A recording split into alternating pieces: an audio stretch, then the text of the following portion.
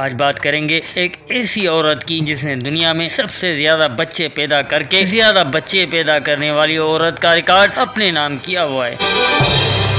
चालीस साल की उम्र में चौवालीस बच्चे मतलब अपनी उम्र के सालों से भी चार बच्चे ज़्यादा। अब आप सोचेंगे, ये कैसे मुमकिन हुआ? तो जनाब, इस वीडियो को आपने मुकम्मल देखना है। युगांडा से ताल्लुक रखने वाली मरियम जो के मुसलमान हैं, जिनको पूरी दुनिया में मामा युगांडा के नाम से भी जाना जाता है। वो 40 साल की उम्र में 44 बच्चे पैदा कर चुकी हैं, जिनमें 16 बॉयज़ और 22 गर्ल्स जबकि छह बच्चों की डेथ हो चुकी है। मरियम की शादी 12 साल की उम्र में हुई, जबकि उनका पहला बच्चा 13 साल की उम्र में हुआ। मरियम का सबसे बड़ा बेटा सत्ताईस साल की उम्र तक पहुँच चुका है और छोटे में से छोटा बच्चा एक साल का वो अब तक पंद्रह डिलीवरीज दे चुकी हैं, जिनमें चार चार बच्चों को पाँच टाइम उन्होंने बर्थ दी। तीन तीन बच्चों को भी फाइव टाइम्स बर्थ दी। दो दो बच्चों की चार बार, जबकि आखिरी बच्चा एक ही अकेला पैदा हुआ।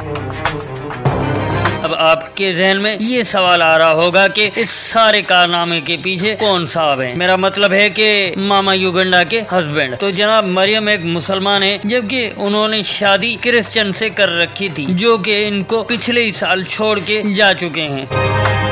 मामा युगंडा के कुछ बच्चों के नाम मुस्लिम हैं और कुछ के क्रिश्चियन रखे हुए हैं।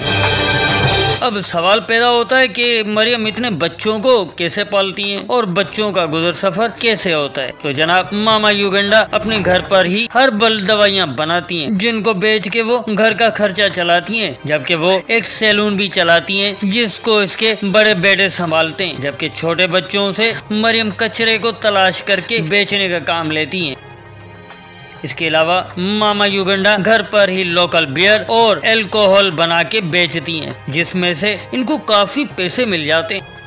इनके दो घर हैं, एक घर बच्चों के हवाले, जबकि एक घर में मामा योगंडा रहती हैं। बेडरूम और वो जगह जहाँ पर वो दवाइयाँ बनाती हैं, जबकि दूसरे घर में दो कमरे और एक सिटिंग है। हर कमरे में छह बंक बेड लगे हुए हैं। हर बेड पर तीन बच्चे सोते हैं। एक कमरा छोटे बच्चों का, जबकि दूसरा कमरा बड़े बच्चों को दिया हुआ है।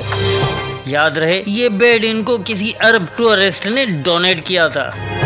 मामा युगेंडा से सवाल किया गया कि इनको अपने बच्चों के नाम याद कैसे रहते हैं? तो वो हँसते हुए नाम बताने लगी। इनको सब नाम याद थे।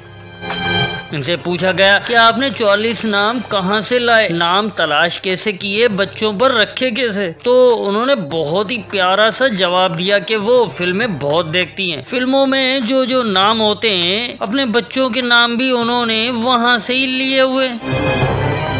ज़्यादा बच्चों के हवाले से किए गए सवाल के जवाब में उन्होंने कहा, मुझे कोई शर्मिंदगी या पर परेशानी नहीं है। ये अल्लाह ताला की देन है। अल्लाह ताला जिसको पैदा करता रिस्क भी साथ ही भेजता है। वो कहती हैं कि वो अपने बच्चों से बहुत खुश है। तो जनाब, कैसी लगी आपको आज की वीडियो? उम्मीद करता हूँ आज की वीडियो आपको पसंद आई होगी।